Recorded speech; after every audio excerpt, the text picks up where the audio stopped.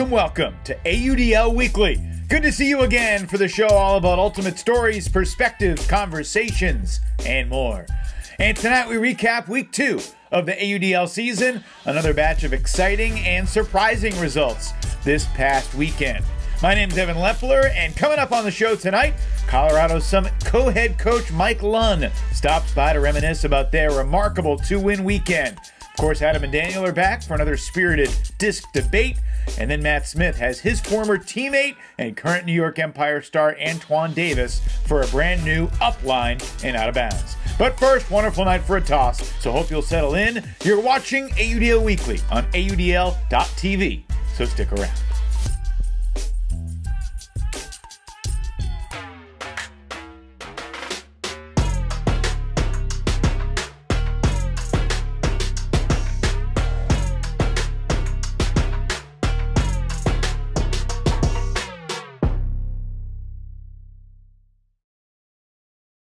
All right, welcome back.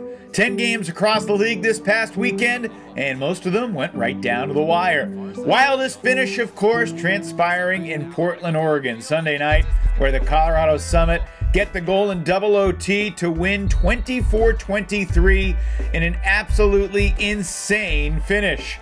Both overtimes were battled amidst a vicious monsoon, and the conditions created a bunch of unclutch, uncharacteristic moments until Jonathan Nethercutt hit Matthew Agee for the game clincher. Shout out though to Portland's Daniel Lee for one of the most memorable points we've seen in the AUDL in a long time. It was an O point for the Nitro. Colorado had three separate chances to break for a three goal lead, but Daniel Lee with three different blocks and ultimately Portland scored to get back within one. Nitro though do fall to 1 and 1 after their first two games while Colorado joins Salt Lake at 2 0 atop the West Division. Summit's first win, of course, coming on Saturday in Seattle, and Matthew Agee, who had the game winner on Sunday with the Sports Center top 10 moment on Saturday. One of the many great highlights in the Summit's first weekend as an AUDL franchise. It was impressive and fun to watch. Also, one and one in the West now after their win over Oakland this past Saturday. The San Diego Growlers winning 19 to 16 up in the Bay. Growlers will look to get above 500 when they host LA this Saturday. Elsewhere around the league, Chicago outlast the Minnesota wind chill by handling the Minnesota wind gust a little bit better than the wind chill did on Saturday. 24 21 was the final. Union now 2 0 after the impressive road win to spoil the chill season opener in St. Paul. Meanwhile, in Madison, the Radicals become the first franchise in AUDL history with 100 wins. They never trailed on Saturday in their 18 16 win over Pittsburgh, dropping the Thunderbirds to 0 3. And 1 0 Madison will face 1 0 Indy coming up this weekend after the Alley Cats stomped Detroit 33 22 inside Grand Park. Keegan North, a gigantic game in his return to Indianapolis after he played last season as a member of the Chicago Union.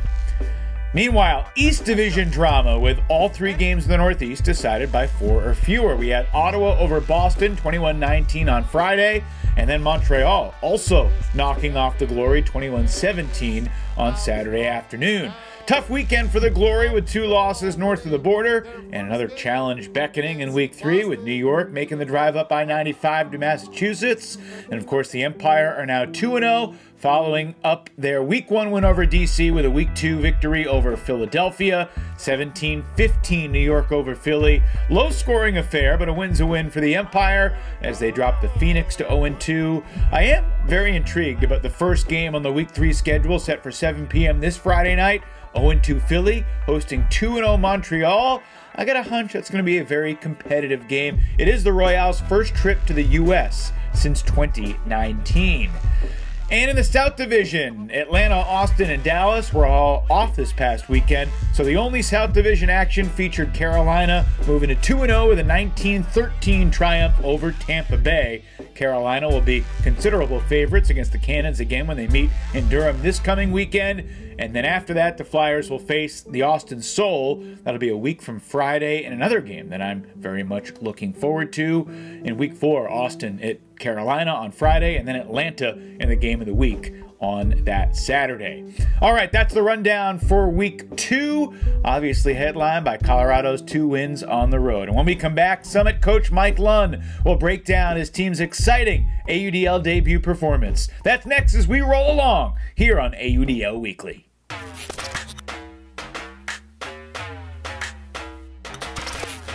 Back here on AUDL Weekly with one of the co coaches of the Colorado Summit, Mike Lun, joins us after a 2 0 weekend through Seattle and Portland. Mike, congratulations on the 2 0 start to the Summit's tenure in the league. Uh, how you feeling uh, coming off this great weekend? Uh, feeling great. Uh, you know, tired. Uh, just mentioned I we flew back late.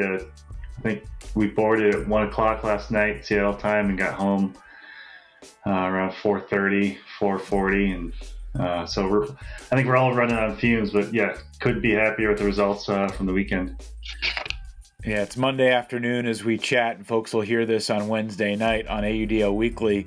Uh, appreciate you making the time despite the fatigue uh, through the through the exhaustion. I imagine the exhilaration from the two wins still stands out. Uh, let's talk big picture. Like what stood out from the weekend as a whole before we dive into some specific moments from the two games.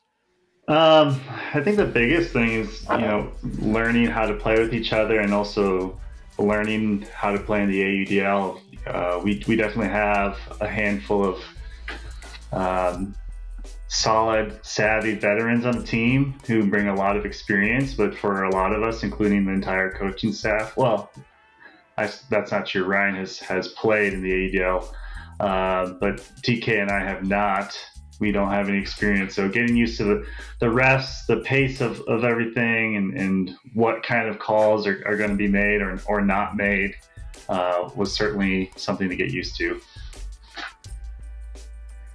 Well, it began on Saturday night in Seattle, and you know, kind of like Salt Lake. I mean, they fell behind early a little bit. You guys were down four-two in the opening quarter. How long did it take your your your guys and your coaching staff to kind of feel comfortable and and let your talent go to work and seize control of that game against the Cascades? Yeah, you know, uh, the Seattle Stadium is the wind is a little swirly. Um, and actually, Jay knew about this going into the game he, since he had played there uh, previously.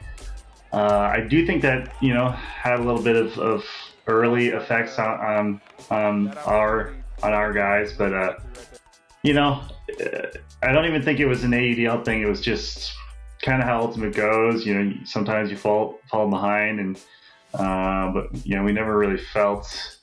Um, uncomfortable, I suppose. We we're just sort of settling into things at that point. What was ultimately the difference against Seattle in terms of you guys pulling away and, and getting the W in your first ever game?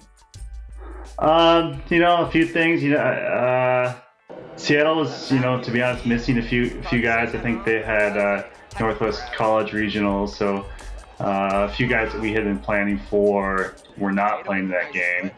Um, so that always helps. But you know, we have a good team. Honestly, we we have we have a pretty deep team. Uh, I think we're going to get continue to get deeper throughout the season and uh, just getting more reps together, gelling. Uh, nothing complicated. It was just just getting time together and, and playing how we've been practicing. There's no question you guys have a bunch of star players from Jonathan Nethercutt, Jay Froude, and Matt Jackson who have the experience in the league to, you know, the University of Colorado contingent that you've coached with Mama Bird that's, you know, just kind of coming onto the national stage at this level. So you win on Saturday and then you, you travel south to Portland how were the bodies feeling? How was everyone physically heading into the game with the Nitro? Obviously, they're fresh, and you guys are coming off a game less than 24 hours earlier. Yeah, you know, not too bad. Uh, so Saturday, we we we actually flew out to Seattle early Saturday, so that that day was almost tougher in some ways because of the, the long travel, lack of sleep going into the day. But we were able to get uh, good rest Saturday night and, and hit the road at a reasonable time, like 9 a.m. Pacific time to get to Portland. Uh, so we were feeling good. Honestly, we had uh, you know some some nicks here and there, but uh, Uh, Seattle was really like uh, because of the travel, we, we, were cramping by the end of the game. But um, the weather kind of turned out for the beginning of the Portland game, and I think mood the mood was good. Uh, the captains led us through a, a really solid warm up, um, and then towards the end of the game, obviously the rain became a factor. But yeah, yeah, we uh, we knew it was going to be tough, right? Back to back, uh, tough opponent. Back to back is always you know not ideal, but yeah, yeah, we felt good about it. Was there any part of you, maybe not even the coaching staff or the team, that was like, all right, we got the win on Saturday. We're playing with house money a little bit. No one expects us to go 2 and 0 in this first weekend? Oh, uh, we never, definitely never thought of it that way. Um, you know, we, we watched, we had the advantage of having been able to watch Seattle and Portland play last week. So kind of had some uh, ideas of, of, of, how we wanted to match up against Portland.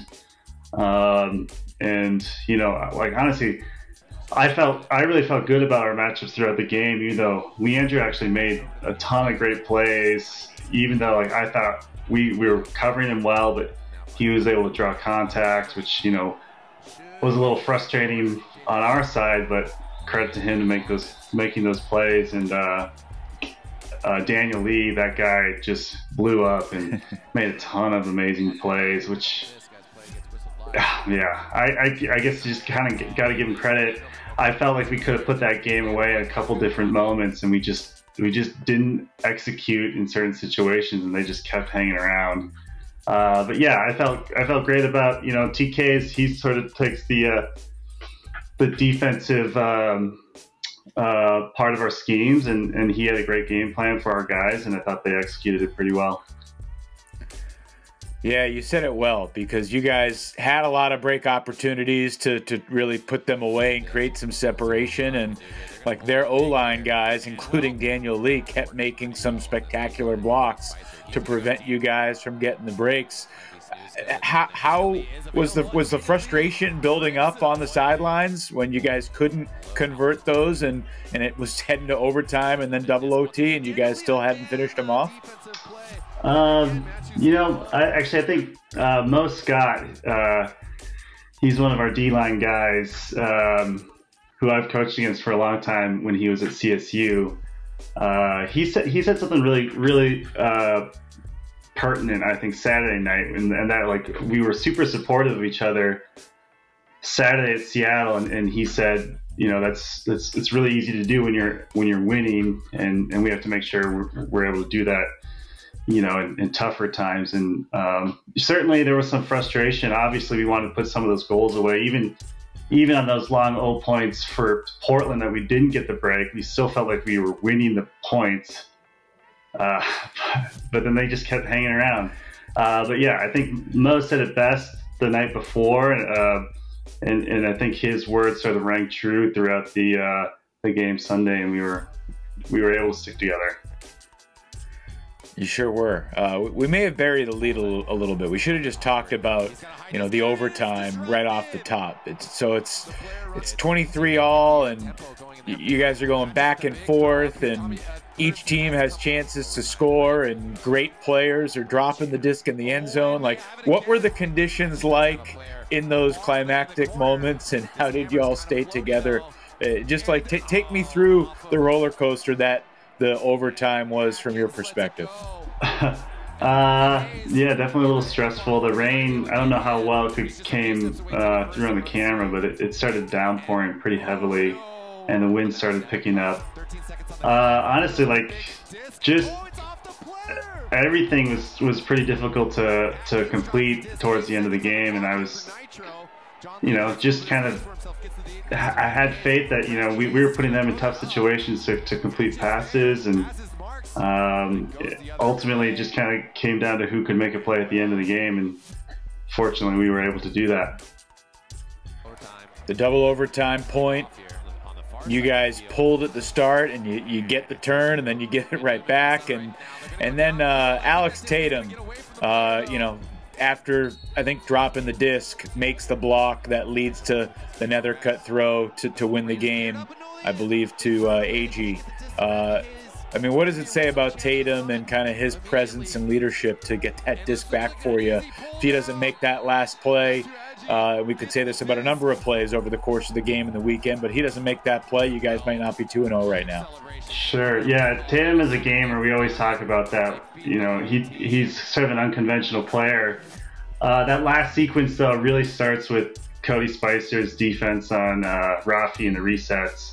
Uh, that that's sort of our bread and butter, what we like to do, and try to make tough and uh, put put them in a tough situation to, to squeeze that throw in. And, and yeah, Tatum was able to to get a hand on that one.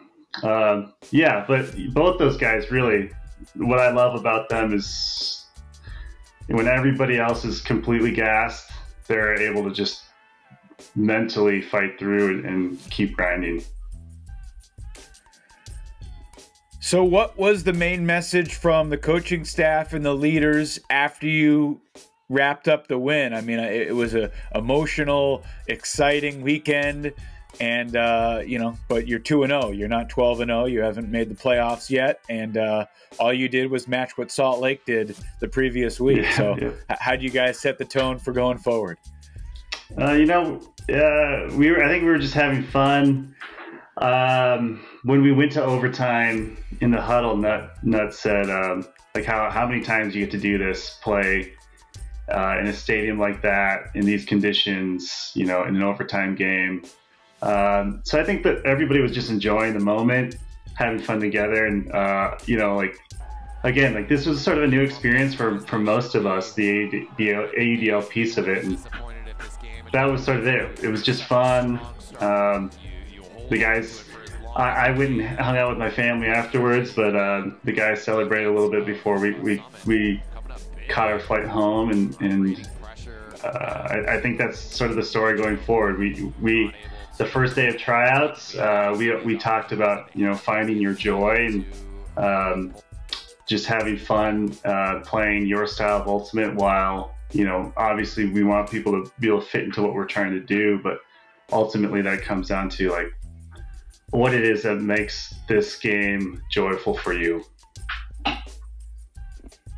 That's pretty cool. And yeah, obviously you want to make sure everybody's having fun, but you guys have a lot of talent and, and can win a lot of games as well. My last question is this Did, did this past weekend redefine your expectations at all, either for how many games you can win or what your potential could be as a group this season? Uh, I don't, you know, honestly, I don't think so. Uh, uh, you, I'm not really thinking too far ahead. We're, we're, we're just trying to keep getting better each day at practice and, and, and learning as we go. Um, uh, the, the first time I, I, I, or when I first joined the team, you know, it was, it's all about building culture in year one. Obviously, we want to do well. We want to be competitive all of us are competitive people and, and the whole idea is to compete at the highest level uh, that we can. But yeah, it's just about building. Uh, expectations are exactly the same today as they were, you know, 72 hours ago. Good deal. Mike Lun, appreciate the time. Best of luck going forward, and I look forward to seeing you down the road. Thanks, Evan. That's Mike Lun, one of the three co head coaches of the Colorado Summit. They are tied for first place entering week three in the AUDL. Adam and Daniel back to break down everything from the past weekend in the American Ultimate Disc League as we continue on AUDL Weekly right after this.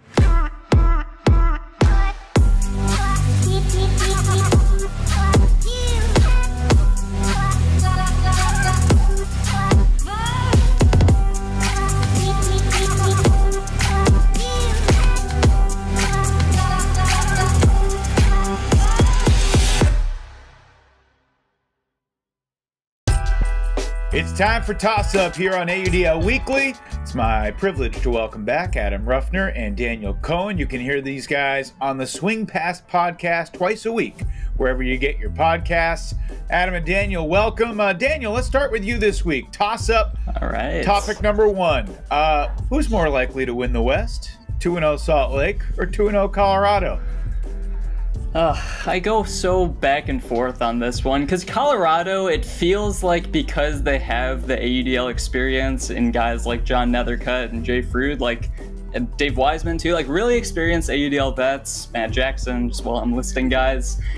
It still felt like I saw more consistency out of Salt Lake in their opening weekend. So I might ever so slightly lean Salt Lake. I think maybe it's the scoring efficiency that we saw from them, scoring 25 and then 24 goals in that opening weekend. We saw Colorado look generally good, but also kind of run into some spells of, of a bit turnover heavy play. I mean, particularly at the end of the Portland game, I feel like they had more sort of expansion team moments, whereas Salt Lake felt a lot more polished it's still super early. I could see either one of these teams getting to the top, but right now I, I think I, I, lean very slightly in Salt Lake's favor. Heck of a hedge. I might ever so slightly lean towards Salt Lake. the tiniest uh, bit. Adam, be more declarative. Who's going to win the West, Salt Lake or Colorado? As impressive as Colorado was this past weekend, winning both of their road games, similar to Salt Lake, I'm with Daniel, and I'm gonna stick with kind of the the wave I was riding last week with the shred, and I'm gonna go with Salt Lake right now. I just think that having talked to their captains last week on Swing Pass, having heard from head coach Bryce Merrill for Salt Lake, there is an application to the details with this shred team that I don't know that you will really see outside of San Diego in the West this season. They are going home and preparing every single game. They are pr taking practices very seriously. They're working as a 1 through 27 kind of lineup team. I just trust that over the length of the regular season. Now, when it comes to the playoffs, it will be interesting to see who emerges. But for right now, I like Salt Lake winning the regular season in the West funny how quickly things can change from a narrative standpoint because everyone was talking, you know, Colorado or Portland or San Diego, and now you both choose the shred. We'll see them this Friday night in their home opener against Seattle. All right, topic number two. Uh, who was more impressive, Adam, in their debut with their new team this past weekend? Jonathan Nethercutt with the Summit or Dalton Smith with the Chicago Union? Now, this isn't to say that John Nethercutt isn't impressive wherever he performs, but I think we're kind of seeing that this is what Nut does, regardless of what team you put him on. He played for three games with San Diego last year. He stepped in, looked exactly like his MVP self. He comes into his first two games with Colorado. He puts up over a thousand throwing yards and 13 assists in two games, and is just the quarterback that this expansion team needs. So I'm, I'm not trying to say that isn't impressive, but just for the kind of heightened atmosphere, the the I think heightened stakes of the game itself, I'm gonna pick Dalton Smith's debut at Chicago in that Minnesota game. Quarterbacking that D line, having not really played or practiced with that Union team yet very consistently, and just stepping in and being an anchor for their counterattack all night long in the win. I, that was something that I knew Dalton was capable of, but watching him do it, it just really secured in my mind of how he deserves to be in a class of like a Eric Taylor or um, I'm struggling to think of other two-way player names, but that that kind of true all AUDL. The stats might not always indicate it, but game in game out, he is going to provide you a star caliber performance. I was just so impressed with Dalton's ability to lead the Union D line. Daniel, what do you think? Gonna agree. I mean, Dalton, look, coming into the game, I thought no Paul Arders. Dalton will probably slot in on offense. Like, he is that very capable hybrid that should be able to slot into whatever system, but I, I'm like so sold on Dalton leading the D line. Like, this is something we talked about before the season a bunch. Like, who is gonna lead this D line with their offseason losses of Peter Graffy, Kurt Gibson, Drew Swanson. Like they were lacking defensive playmakers, and I feel like Dalton Smith has just like put any doubts I had aside. He is such a good quarterback for this D line. He had 31 completions in this game, which was third most on the team, despite playing 16 of his 18 points on defense. He had another three blocks. He had no throwaways. His only incompletion was a drop. Like I, I don't know. I was just blown away by him. I love the fit for this defense. I liked him better back there than either of their main D-line handlers last season. So I, I just think it's such a nice fit. Again, not to take anything away from John Nethercutt, but I was most surprised by Dalton's ability to just immediately slot in and be a difference maker. Yep, Dalton was good, and the biggest surprise for me was that Chicago was able to win that game without Paul Arders and also Eli Artemakis. They were shorthanded, and they still went in there and handled the elements better and got the win, and Dalton was a huge part of that. All right, uh, moving on, topic number three. Uh, Daniel, we'll start with the guy that's not wearing the Radicals jersey.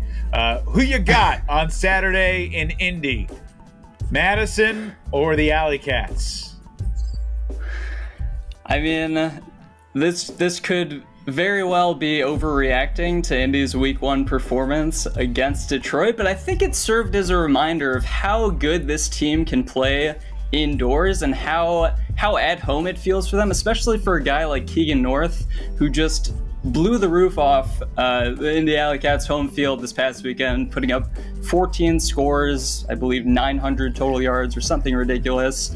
I'm gonna take Indy. I think Madison I I liked the direction we saw from their offense in the first week, but at the same time, their defense out converted their O line again, and that was the same thing we saw last season. They ended up with a higher D line conversion percentage than their O line conversion percentage. Until I see more consistency from the Radicals offense, I don't know. The the indoor game is very offense heavy, and right now, even without Travis Carpenter, it feels like Indy is going to be in a good spot to put up a lot of points.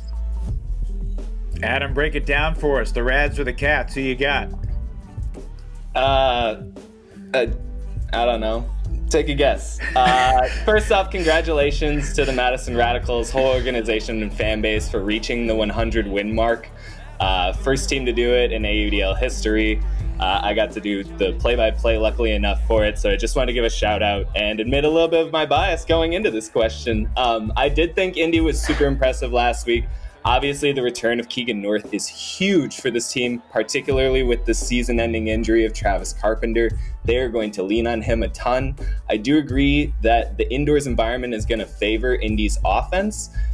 I just think that Madison's defense is still going to be able to take away the first opportunity looks that the Alley Cats like to engage and force them into some alternate routes which I think will favor the Radicals in the long run of this game. Now, I have heard that Madison might be missing some key components, particularly on offense, going into this matchup, which may have a pretty particular effect on the outcome. But I still have faith in this Madison defense right now, particularly as it battles for that third seed in the Central. I just think defense wins you games. And until Indy can show a little bit more of something against a non-Detroit team, I'm gonna take the Radicals. Yeah, Indy has not beaten anyone besides Detroit since their division title game three years ago at this point. Hey, Adam, real quick, who on the Madison defense do you think guards Keegan North primarily on Saturday? I mean, I think historically it's been Kevin Pettit Scantling versus Keegan North, but I could definitely see Luke Marks drawing that matchup and a couple of the other younger guys that the team is really excited about. Jake Rubenmiller might get a couple of shots at him. We'll see. I think you might see a few different defenders on North just giving him different looks and trying to disrupt his rhythm because, as Daniel was pointing out, the dude went supernova the other night. Yeah. Tough news for the Radicals with Kevin Brown tweaking the hamstring again. Sorry to hear that news, and KB likely done for the year. We are told. So that's a that's a tough punch across the face for the Radicals and their hopes to have a top defense, even though they'll still be good. All right, topic number four. Moving on from Madison, uh, I- I'm curious where you guys go with this question. Adam, we'll start with you. Which 0 1 team currently has the best chance to make championship weekend, or I should say, the better chance to make championship weekend? The Minnesota Wind Chill or the DC Breeze? No, I'm not saying I'm selling all my stock in Minnesota after losing one game by three goals at home, where they did hold a lead at times on Chicago, but I think that loss confirmed a lot of the fears I had about this Wind Chill team about how all the pieces fit together. It felt like they got a few good performances from around the team and Tony Paletto and Quinn Snider's return. He looked phenomenal, but it never felt like they were truly playing cohe- cohesive ultimate. And you could see that in contrast with Chicago, who looked like the most with it together, cohesive team in the division right now. They are the reigning champs. And so I think I'm a little bit more hesitant on Minnesota right now. And I still think DC looked really good against New York, and New York pitched their A game in that week one matchup. DC stuck with them the whole time. I still think DC is going to develop over the season, and Minnesota will too. I just think DC has shown an ability to consistently push New York as good as any team in this league, and they're going to continue to do that even into a playoff matchup with them this year. And right now, I still think in the Central, it's Chicago's to lose, as they showed this last weekend. Daniel, what do you think? I think I'm going the other way on this one, and Ooh. a lot of that is because we saw New York's A game in week one, and it's just like how does any team beat that? And sure, there's a chance if they play DC in the playoffs that maybe they have an off night, but I I feel like I, I still favor New York in that playoff environment. Whereas with Minnesota, I feel like we've been talking a lot about with their new additions, it's likely that it will take some time to really figure out their rotations, really optimize the usage of a lot of their new guys, guys like Abe Coffin, Rami Paus, they were also missing a couple key handlers in Will Brandt and Andrew Roy. So I think later in the season, as they get more more, more full strength and just have their depth all together, I'm not too worried about them. I still think they've got as good a shot as Chicago of coming on top this Central Division. Chicago will also be picking up some people later in the season. They were missing Paul Arders, Eli Artemakis, Tim Schock will be making his return later in the season That's and true. providing more D-line stability. I mean, I hear what you're saying. I think Andrew Roy was a particularly large loss for them on Saturday night for Minnesota, but Chicago will also be adding talent as the season progresses. They will. Well, Chicago, Chicago does not need to do anything all that quickly. Their next game isn't until June, literally, against Detroit. Uh, they have four weeks to game plan for the Mechanix, so we'll see what kind of wrinkles they come up with. Uh, Minnesota needs to get in gear fast. They got road challenges at Dallas, at Madison the next three weeks. So, you know, it's a little early to say they're staring 0 3 right in the face, but uh, if they don't shape up quick, they uh, they very well could be uh, with nine games to go. All right, Adam and Daniel, we bounced about a bunch of different topics, but appreciate the time as always. That'll do it for Toss Up tonight. Coming up still on the show, Upline Out of Bounds with Matt Smith and Antoine Davis. But first, it's another Cohen's Cut. What's up, AUDL fans? Daniel Cohen here with this week's Cohen's Cut. Today we're going to be looking at the Chicago Union and how they transition out of zone defense to limit opposing offenses. Now, zone defenses can be really effective creating backfield pressure by facilitating double teams, stopping easy in cuts, and generally just forcing a lot of throws, including difficult throws over the top or through the zone. If they're broken though, zones can run into trouble when offenses are able to string together multiple throws without letting the zone reset. So instead of letting this weakness hurt Chicago's zone defense, last season they did a lot of transitioning out of zone into matchup based defense once the opposing offense got moving. So in this example, we see Chicago set up a 2-3-2 zone with the Flyers backed up in their own end zone. For the first five throws, the zone is mostly doing its job. Carolina hasn't gained significant yards, the front of the zone is maintaining pressure on the handlers, and the defense hasn't gotten out of position at all. It's not until Sol Yanuck throws a hammer over the top to the far side of the field that the zone is really broken, and it's this throw that triggers the switch into matchup defense. So, rather than having the two defenders at the front of the zone chase the disc all the way to that far sideline, the wing defender on that side takes the nearest cutter, the two handler defenders remain on the handlers, and the rest of the zone takes the nearby matchup in each player's vicinity. Part of what makes the transition so smooth is communication, and also the team defaulting to taking away the biggest threat in each player's immediate area. Before coming up to guard Jacob Fairfax, watch Sam Kaminsky drop back onto Henry Fisher until he's sure there's a defender that can take that matchup. This transition slows the pace of the offense. If they hadn't transitioned, the offense could have taken advantage of the out of position zone after that initial hammer, Chicago controlled the pace of their opponents all season with this approach. slow down the game with zone defense initially, then stop the offense from running through the zone by transitioning back into matchup defense once it breaks. After slowly progressing downfield, the Flyers ultimately force a throw into tight matchup D in the red zone, where Drew Swanson lays out past Henry Fisher for the Union block. Thanks for watching. Be sure to join me next time for another Cohen's Cut.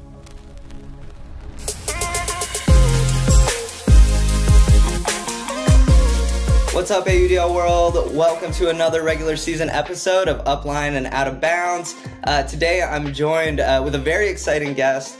Call him a, a, friend of the show, alumni of the hustle, uh, AUDL superstar, highlight machine, whatever you want to say. Antoine Davis. How's it going, Antoine? Doing great. How about you, Matt? I am doing well. Uh, happy to have you on the show and uh, ready to get right into it. So, uh, with that, we're going to hop right into the intro and kick it off. So, first question for you hometown. Hometown is Arlington, Virginia. Just, out of, just outside of DC, yeah. Cool. Current age? 28, but turning 29 this month. Ooh, getting up there, but right in that prime. uh, did you attend college? If so, what degree or major did you pursue? Uh, I went to Virginia Tech, and I eventually found myself um, graduating in human nutrition, foods, and exercise. So it's like kind of a pre med because I thought I was going to be a doctor, but I don't like school that much. That's very fair. Uh, yeah, with that in mind, what are you? Uh, what's your current occupation, career, day job? What are you up to these days? Um, so what mainly pays the bills is I'm a, a model, and so I kind of go around the uh, not the world, but uh, uh, go go around the country doing sh- shots for different companies. Um, but my passion project is definitely uh, life coaching, and that began around actually in the middle of uh, shutdown, and that's like kind of really turns my gears um, as of late. Very cool, and good luck with all of that. It's exciting stuff. Uh, flipping over to frisbee side, uh, position on the field. You know, just a uh, playmaker, pretty much. You know, but uh, uh, officially, it's uh, just like a downfield uh, initiator for offense, and um, for mainly Empire, just sh- shutting down their uh, initiator. Yeah, I would have said hybrid for sure. uh, why don't you give us your ultimate origin story? Yeah, this one's uh, I think a pretty funny one. Um, I used to talk mess about uh, Ultimate all the time, and um, and it was I got introduced to it in high school, and all my friends played it, and I was like kind of your typical jock and playing football, basketball, running track. And my friends got tired of me talking mess, so they invited me to uh, come to practice. I was like, all right, I'm gonna dog y'all at your sport and I went and they dogged me, but I absolutely loved it. And it was like a Tuesday or Wednesday. And that weekend, I went to my first tournament. And by senior year, so that was sophomore year, by senior year, I quit all my sports to play Ultimate year round.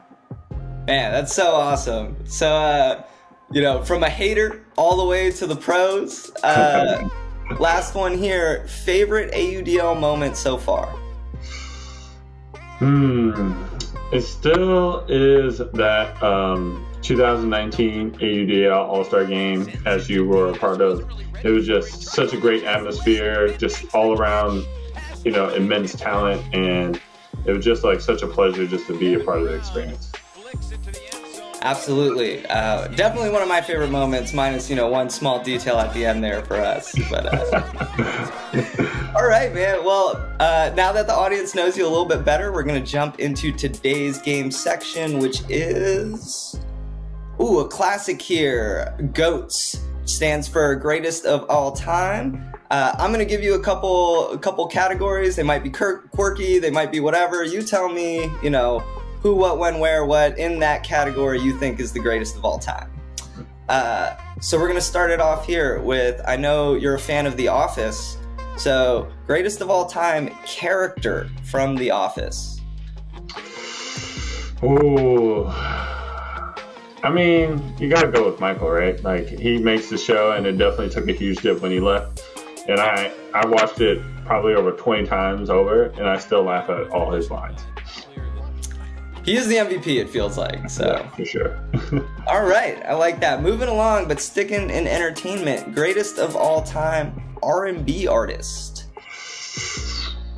Of all time. Of all time. Of all time. Uh, I might get some flack for this, but I gotta go with Justin Bieber. I love me some Justin Bieber. I have like over 50 songs of him in my Spotify library, so J Beebs. All right, I'm not gonna hate. I'll leave it to the other people. I respect that. Uh, moving right along, then. Uh, greatest of all time superhero. Ooh. Greatest of all time. I mean, I either have to go with Batman or Iron Man. And if I had to choose, Iron Man. All right. Sure. Yeah. All right. That was like, uh, for me, that was kind of the first Marvel movie that really set it off. That was a oh, great yeah, Iron. Man. Yeah. yeah. All right. Uh, well, I appreciate you playing along uh, with the game. Unfortunately, we are out of time for today. But before we get out of here, uh, any last shout outs you want to give? Uh, just shout out to uh, Game Point Performance. They um been I've been a coach with them for several years and uh, made me the athlete that I am today. So if you're looking for anything uh, to improve your performance, Game Point, Game Point Performance is the way to go. All right. And uh, watching you on the field, I certainly believe it, and I know I speak for the rest of the AUDL. We're looking forward to this New York and Boston matchup this weekend. But for now, back to Evan. All right, Matt, thanks as always. Good to hear from Antoine. And a reminder that you can watch bonus content from every episode of Upline Out of Bounds exclusively on AUDL.tv. For now, though, time to say goodnight. My thanks to Adam Ruffner, Daniel Cohen, Mike Lun, Matt Smith, Antoine Davis, and of course, a big thank you to Luke Johnson, our editor extraordinaire. Thanks to you as well for tuning in tonight. Our march to championship weekend continues with week three starting this Friday. Triple header of Friday Night Ultimate, all live exclusively on AUDL.tv. But until then, I'm Evan Lepler. Thanks so much for checking out the show. Enjoy the Ultimate this weekend, everybody, and I'll talk to you again right back here next Wednesday.